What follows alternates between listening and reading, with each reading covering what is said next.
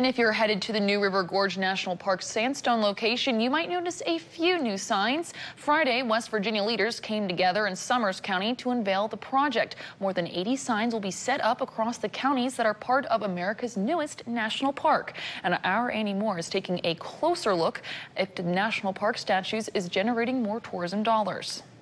Look at this now. Check this out. Last year, southern West Virginia saw 17,000 rafters down the New River. Since the New River Gorge National Park designation, tourism leaders say that number has jumped to 42,000.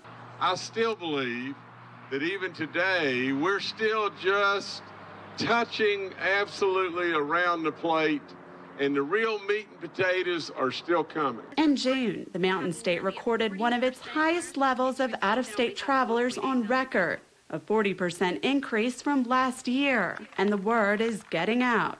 To describe people what the mountains are like, and then when they come back and say, I, I, I, couldn't really understand until I saw them because they're just, it's magnificent. While West Virginia may be in the spotlight right now, Senator Shelley Moore Capito says there's work ahead to keep it there. We want to make sure that we have the facilities, the restaurants, the, the rooms, the recreational opportunities, and we see it all growing, uh, and we see that uh, a lot of our businesses are successful.